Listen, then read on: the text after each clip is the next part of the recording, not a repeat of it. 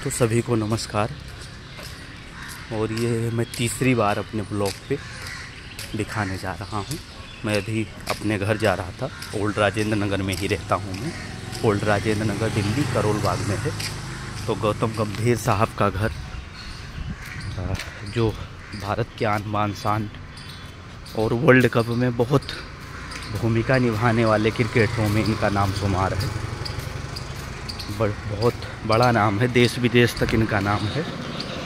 तो ये गौतम गंभीर जी का सब लोग कहते हैं नया घर है बट मैं उनका पुराना घर दिखाता हूँ जहाँ वो परिवार के साथ रहते हैं परमानेंट ये उनका पुराना घर है, ये।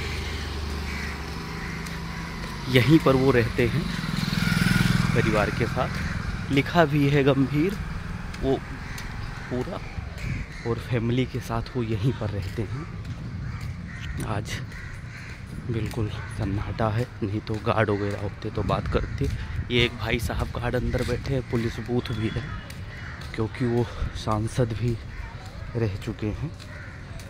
तो इसलिए मैं आप सभी को दिखाया, ये पूरा उनका घर है। और पीछे से भी बहुत लंबा दूरी तक है, वहाँ से ये पूरा गंभीर साहब का घर है, क्रिकेटर, बैक साइड से। और ये बैक साइड से भी बना हुआ है।